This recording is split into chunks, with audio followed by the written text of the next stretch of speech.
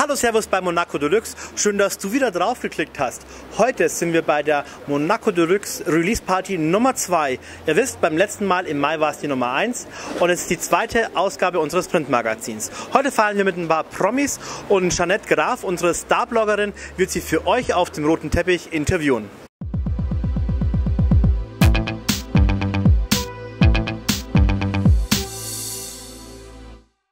Wir sind hier auf der Monaco Release Party im Aloft Hotel und neben mir steht Nico Schwanz. Nico, hast du das Magazin heute schon in Händen gehabt? Ja, nicht nur heute, sondern gestern auch schon. Also das definitiv und ich muss sagen, das ist eines der besten Magazine, Hochglanzmagazine, die ich sehr, sehr mag. Warum magst du das Magazin so gerne?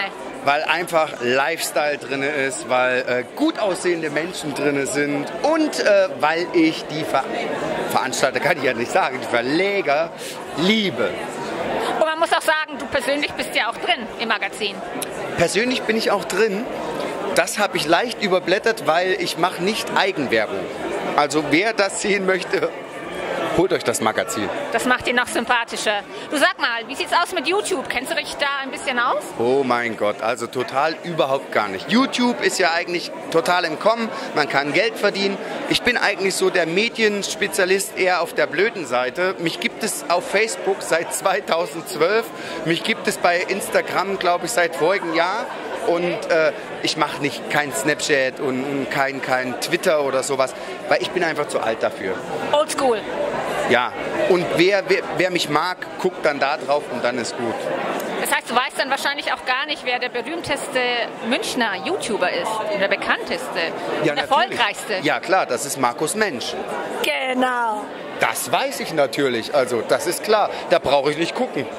Da siehst du mal, das weiß er. Das Wichtigste weiß der Nico. Vielen Dank für das Gespräch. Ich danke dir auch. Neben mir steht Manu Dubowski. Wir sind hier bei der Monaco Deluxe Release Party. Hast du denn eigentlich schon einen kurzen Blick in das Magazin werfen können, Manu? Ja, natürlich. Online schon und jetzt heute ähm, ähm, als Print. Ich bin ja immer noch ein bisschen old-fashioned und finde immer noch das schön, wenn ich was in der Hand habe und aufschlagen kann und nicht immer so wischen muss, sondern einfach wirklich die Seiten in der Hand haben. Das ist nochmal ein Oldschool-Gefühl, aber ein schönes Gefühl, mal was in der Hand zu halten. So wie, du sagst, das ist, äh, ja, genau, es ist immer schön, was in der Hand zu halten. Genau. Vor allem, weil Printmagazine werden, jetzt, es werden immer weniger in der heutigen Zeit. Ne? Alles ist nur noch online. Von daher sind wir besonders stolz drauf, dass wir das heute hier launchen können. Die zweite Ausgabe von Monaco Deluxe. Wusstest du, dass äh, Markus Mensch der bekannteste YouTuber und der erfolgreichste YouTuber Münchens ist? Ich hatte es gelesen, weil ich ja auch auf Facebook bin. Das äh, finde ich großartig natürlich, weil ähm, ich muss ja ganz ehrlich sagen, da sind wir jetzt auch wieder bei, bei, bei Print oder in der Hand haben oder äh, online und so weiter. Ähm, das ist mir noch ein bisschen fremd mit den, mit den ganzen Bloggern und YouTubern und so weiter. Aber das ist einfach die neue, oh Gott, jetzt komme ich mir sehr alt vor, aber das ist einfach das neue Medium. Äh, ist interessant, ich sehe das auch in meiner Tochter. Wie gesagt, ich bin immer noch so, ich, hätte ich habe gern ein Cover in der Hand, ob es jetzt äh, DVD ist, also äh, Filme würde ich nicht runterladen, sondern ich will sie immer kaufen. Und so ist es auch bei Ausgaben, weil teilweise sind die Cover so schön, dass es eigentlich fast wie ein Poster ist. Und man kann die immer wunderbar dekorieren, auch in der Wohnung. Das heißt, du schaust auch keine Tutorials an. Tutorials. Ich sag jetzt mal nein. Nee, Und deine Tochter?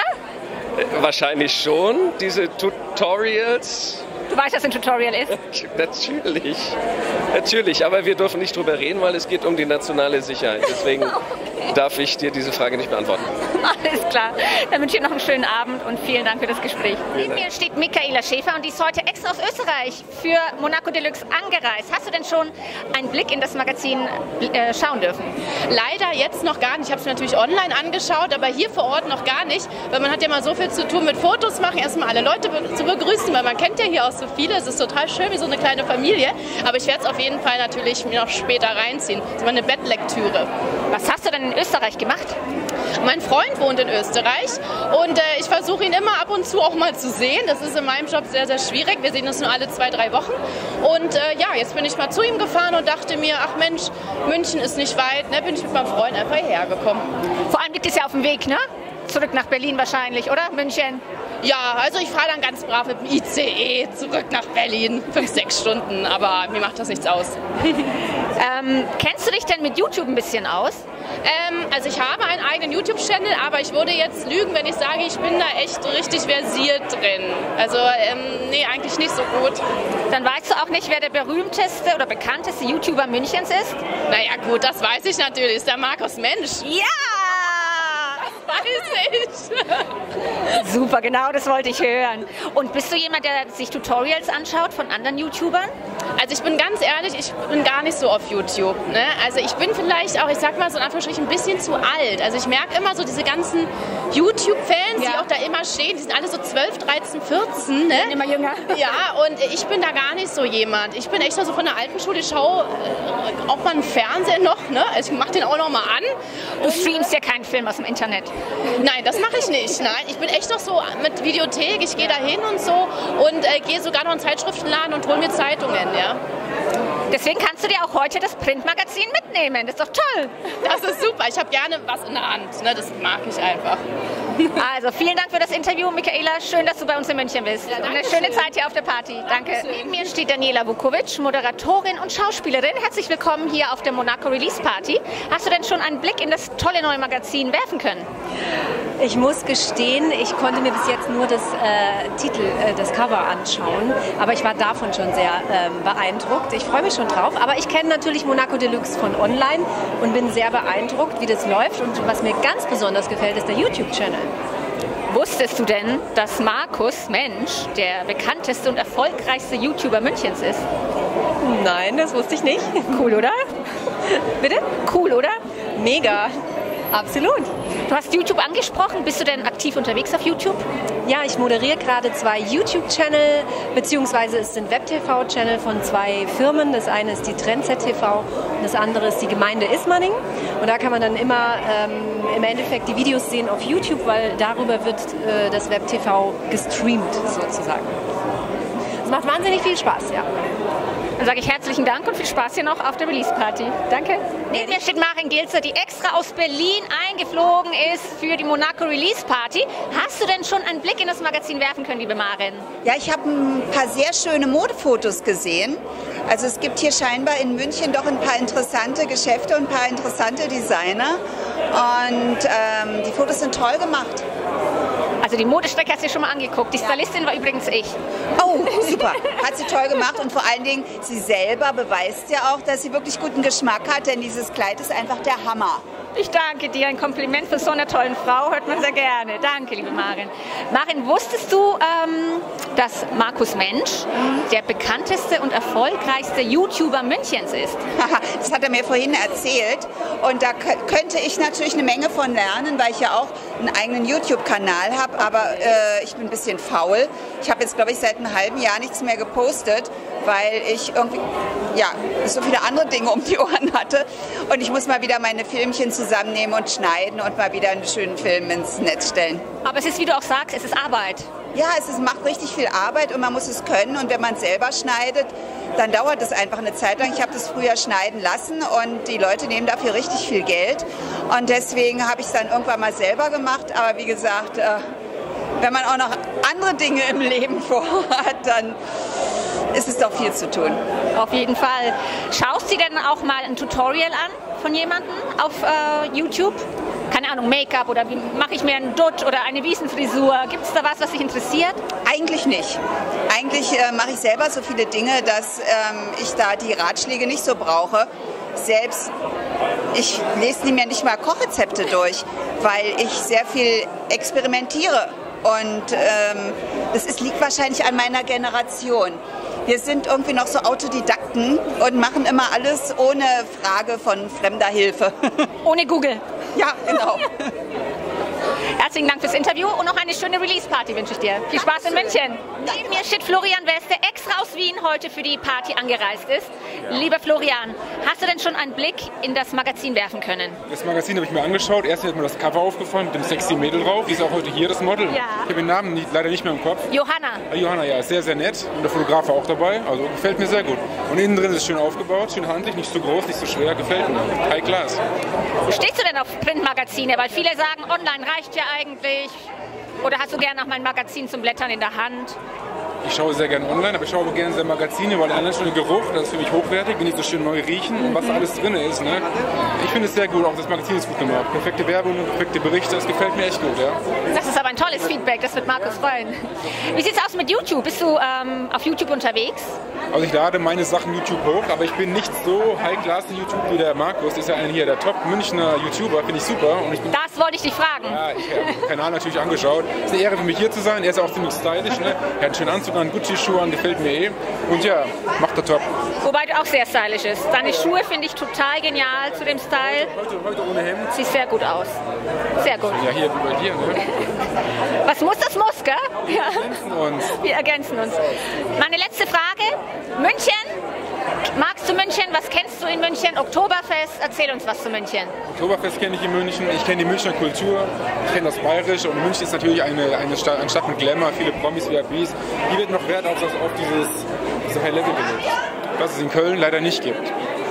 Bist du ursprünglich aus Köln? Ich habe früher in Köln gelebt, jetzt lebe ich in Wien und Wien ist auch so ein bisschen vergleichbar mit München. Also es ist sehr edel, Gebiet und grüß Gott. Das natürlich, das gefällt mir mehr.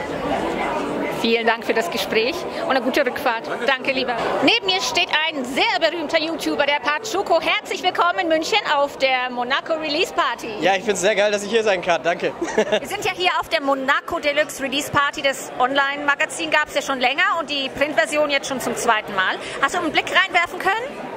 Ich habe mal bisher nur ganz grob überflogen, weil ich das kurz für ein Bild für Instagram gebraucht habe. Aber ich bin ja noch ein bisschen hier und dementsprechend äh, werde ich da mal genauer reingucken auf jeden Fall. Was ist mit Markus Mensch? Das ist natürlich der entscheidende YouTuber. Das ist der wichtigste YouTuber auf jeden Fall. Man muss ja immer wieder, der hat ja mehrere Kanäle. Also einmal zum Beispiel Monaco Deluxe und auch nur einen eigenen Kanal, was man unbedingt auschecken sollte. Und er ist vor allem auch der netteste YouTuber, den ich kenne, weil er mich zum Beispiel immer wieder auf solche Veranstaltungen einlädt, wie hier oder die Secret Fashion Show. Wie gefällt es dir auf den Veranstaltungen? Auf Secret Fashion Show warst du da am Freitag? Diesen Freitag leider nicht. Bei der letzten Secret Fashion Show davor war ich da. Ähm, hat mir aber sehr gefallen, weil ich fand es sehr überraschend. Bin ja sonst eigentlich nicht der YouTuber, der für Fashion bekannt ist. Ja. Aber ich habe mich, also es hat mir sehr gefallen und habe mich dafür halt super begeistern lassen. Und deswegen ist es halt ein geiles Projekt und ich glaube, genau deswegen hat es auch mit der Zeit immer mehr Erfolg. Und es ist toll, dass du so offen bist und dich jetzt auch für Mode interessierst. Du, äh, man muss für alles offen sein, weil nur so kann man immer coole Sachen entdecken. Neben mir steht der Max, ein YouTuber. Herzlich willkommen auf der Monaco Deluxe Release Party. Hi, ich freue mich sehr hier zu sein. Hast du denn schon einen Blick in das Magazin werfen können, lieber Max? Ja, ich habe mir vorhin schon so die einzelnen Exemplare angeguckt und habe schon reingeguckt, ja. Bist du denn, du bist ja online viel unterwegs als YouTuber sowieso. Genau. Hältst du denn trotzdem gerne mal eine Printausgabe von einem Magazin in der Hand oder bist du jemand, der sich eigentlich eher online ähm, informiert? Also grundsätzlich eher online auch. Ich bin einfach ein Online-Mensch. Aber so die einzelnen Interviews oder die einzelnen Magazine ist auch schön einfach im Regal liegen zu haben. Als Dekoration oder und gerade das sieht halt wirklich wunderschön aus. Also deswegen einfach manchmal auch nur als Deko, ohne viel drin gelesen zu haben, aber ab und zu blättert man halt doch mal doof. Oldschool. Ja. Ja, das hat was, hat was. Vielen Dank. Ich wünsche vielen einen schönen Abend. Danke. Viel Spaß hier auf der Party. Ja, auch. Neben mir steht der Benjamin Bienek. Benjamin, ich liebe es, dass du beim Frühstücksfernsehen bist. Und ich hänge an deinen Lippen. Toller Job. Dankeschön. Heute bist du privat hier bei Monaco Deluxe auf der Release Party von dem äh, Magazin. Wie ist es denn, auf der anderen Seite zu stehen, wenn man Ja, dann mal selbst interviewt wird? Ja, es ist immer komisch. Also ich mag das ehrlich gesagt nicht so gerne. Wirklich? Ja, ich gucke guck mir das lieber an von der anderen Seite und gucke mir, was die Mädels und Jungs da alles auf dem roten Teppich machen. Und, aber ich bin nicht so der rote Teppich-Typ, glaube ich. Ich bin eher der Beobachter. Ehrlich? Ja, ja. So bodenständig. Ja, also ich, bin- ich, das ist ja auch mein Beruf, zu beobachten eher als, ähm, als irgendwie vor, der, vor, vor Fotoapparaten irgendwelche Grimassen zu schneiden oder über die Schulter zu gucken oder sonst irgendwas zu veranstalten. Brauche ich nicht. Das du nicht, das macht dich sehr sympathisch. Du, sag mal, bist du dann auch auf YouTube unterwegs? Ehrlich gesagt, also ich gucke mir das schon an auf YouTube, Ja. aber ich habe jetzt keinen eigenen Channel oder so. Aber ich gucke mir die schon an. Natürlich, wir arbeiten ja auch mit denen. Die arbeiten ja auch noch für die Redaktion und machen so ganz äh, normale Reportersachen. Und da muss man natürlich schon wissen, wer da viel zu sagen hat und wer weniger Follower hat und was, was gerade in ist und so. Recherche. Ja, genau. Also ich gucke mir die ganzen Leute schon an, äh, weil, weil es natürlich für uns auch wichtig ist, zu wissen, auch wa- was die Leute interessiert. Also YouTube ist natürlich auch schon so, ein bisschen diese, die, wo du einfach weißt, was die jungen, ganz jungen Leute einfach gut finden. Ne? Wenn du jemanden hast, der zwei Millionen Follower oder eine Million Follower auf YouTube hat, dann guckst du den halt an, weil der offensichtlich eine riesige Zielgruppe anspricht. Und das musst du natürlich wissen. Und diejenigen werden früher oder später berühmt, ne? Im Zweifel schon, ja. Das ist nicht ganz doof anstellen.